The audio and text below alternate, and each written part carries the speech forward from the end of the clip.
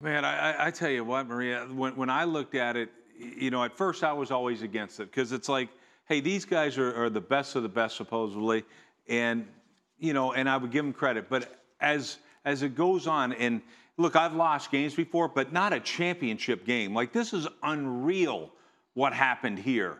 And to me, you know, Belichick brought this thing up a long time ago.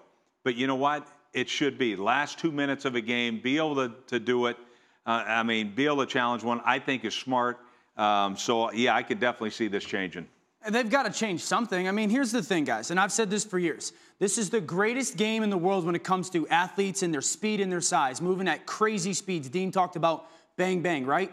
We can't be asking officials who are 50, 60, 70 years old, a little bit out of shape, to be making these bang, bang calls. The, the number one thing, or the, the, the fastest things that go when you age are your eyes and your reflexes, your reactionary, your reactionary stuff. How can we ask these officials, who some of them are grandfathers, to make these calls? This is not this is not on the officials. We're asking them to do jobs that they're incapable of because this wasn't the only call they missed.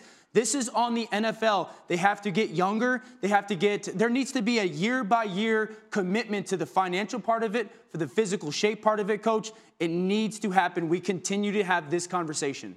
Brutal missed call and an obvious call. I mean, I, am watching it with Ryan Clark in the green room before we're going to go on air, and I see it, and I call it right away. Both calls. I call pass interference and head-to-head uh, head-to-head contact, and I was like, man, this is an obvious call, and then it doesn't get called. And to your point of when it is in the game clearly you have to be looking that direction. And I heard Rex talk about if you want to watch the game, buy a ticket. If you know the flow of football, you see that the defender is completely out. He's out of sorts. He's out of phase. He is going to take a penalty to not give up a touchdown. And every good defensive player is taught that. I understand why he's making the play. But as a referee, you're watching all of this develop. You know the flow of football games. You cannot miss this call. And it did cost him the game. I understand every play is you know, quote, created equal. You have chances, you have opportunities, all of that. Not, not in this situation. It is a done deal. You're going to kneel the ball three times, kick the field goal. Your percentage is probably 99% or even higher. You're going to win this game.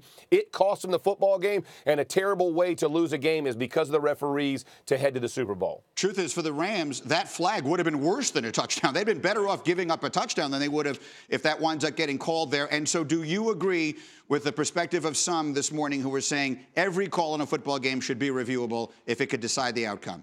I, I think I think you would have to have Uh, some kind of parameters or limits on it. I like inside two minutes. I don't want every pass interference call or every holding call to be reviewable. I think it would slow the pace of the game. I don't necessarily love it. But if that's what they have to do to fix this problem, I'm in favor of it. Come up with something creative. There are a lot of smart coaches and general managers who've been around this game a long time who could sit down and solve this problem. But ultimately, if it has to be all or none, I'm on the all in side. Let's go ahead and make it reviewable. Let's see how it does. If it slows it down, if you lose challenges, whatever it looks like. But you can't, you cannot cost a team a Super Bowl opportunity based on a late inside two minute call. It's brutal, man. And uh, listen, he said it last night. Sean Payton said it best. You don't get over these things. I've I played 14 years. There are losses. I still don't get over. The losses hurt more than the, the, the highs of winning. It's a tough way to lose.